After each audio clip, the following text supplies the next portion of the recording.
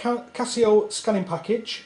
It features the SCS 300 cash register. Um, you can have up to 2,000 products with this system. You've also got 50 departments, 25 buttons, and also the shift button to make it to double it up to 50. You've got cash and credit card on this um, machine. You've got a customer display. You've also got an operator display. The operator display will tell you what's actually happening.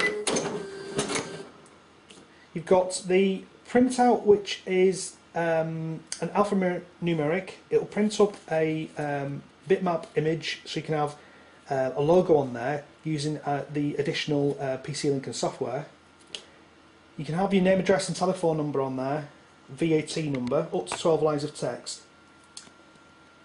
This model, um, this package is the machine, Casio, and the um, Eclipse barcode scanner. It's a it's a red laser barcode scanner, which are featured all around the world. The barcode is easy to read. Um, you can actually see the beam now if I just press the button. Um, it's very very quick, easy, straightforward to read the barcode. Just press the button here. As you can see here. It'll print um, the item name on the printout. Um, on the operator display, you have uh, how many items you've actually done and a running total. For items that haven't got um, barcodes, you can just simply enter the price, then press one of the relevant departments. These departments you can rename to be anything you want, for example, fruit, veg, VAT, non-VAT, that sort of thing. It has a large cash box. The cash box is a steel cash box with a plastic a tray. It's got adjustable coin section with eight coin slots. You have a spring-loaded no clips. Everything is um, heavy duty. It's good for hundreds of customers per day. You've got a lockable cash drawer here with the keys. Comes with two keys. You've got the front slot for putting in uh, credit card slips or checks. It has the security option here for uh, keys to turn around to the um, end of day reports, end of week reports, register mode, refund and program. You've got the black key for the owner. Um, it features two black keys, and you've also got two keys for the staff.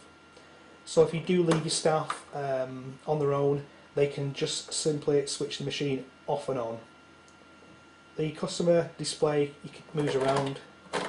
That will actually display the price of the item each time it's actually keyed in or scanned, and then you press subtotal, it'll print up how much the total is so far, and then if we type in the amount and then cash, it'll print up the change to be given, so the customer is aware of everything that's going on.